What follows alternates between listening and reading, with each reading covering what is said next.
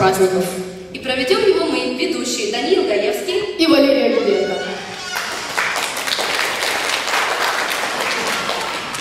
Вот и прошел еще один год. И был он непростым и нелегким для всех нас. Но все же, несмотря на это, наше отделение продолжало плодотворно работать и добиваться высоких творческих успехов. Мы, педагоги и учащиеся, хотели бы 2014 год проводить звуками музыки.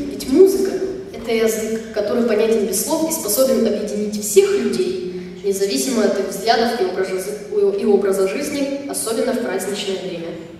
Открывает концерт музыка сына Иоганна Себастьяна Баха, Карла Филипп Эммануила, так называемого Гамбургского Баха, которому в этом году исполнилось 300 лет со дня рождения. Карл Филипп написал просто фантастическое количество музыки. Одна только клавирная музыка его в наши дни уместилась на 60 компакт-дисках. Кроме того, он был виртуозным исполнителем на клавире предшественники, фортепиано, дирижером, педагогом, мыслителем и одним из основателей классического музыкального стиля. Его современники, музыканты XVIII века, признавали его великим мастером и учились на его музыке. Например, сам Моцарт говорил «он отец, а мы дети». Из интересных фактов его биографии. Целых 30 лет он был аккомпаниатором короля Фридриха Великого.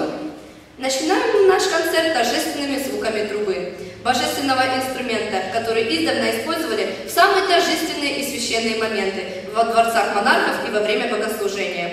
Вариации Карла Филиппа Эммануила Баха исполнят Медловец Константин, педагог Переверзев Николай Сергеевич, концертмейстер Седова Виолетта Клавдиевна.